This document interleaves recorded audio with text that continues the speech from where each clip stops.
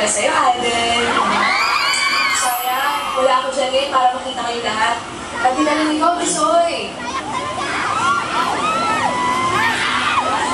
Alam ko ngayon pa lang, ang dami ng wishes na natupad ng Coca-Cola para sa inyong lahat.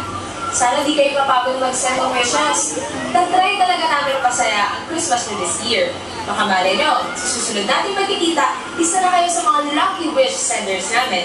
Excited kami makita ang mga papadala nyo. Until next time, Merry Christmas! Sandali, sandali. Baka hindi ako na-orient. Joke lang.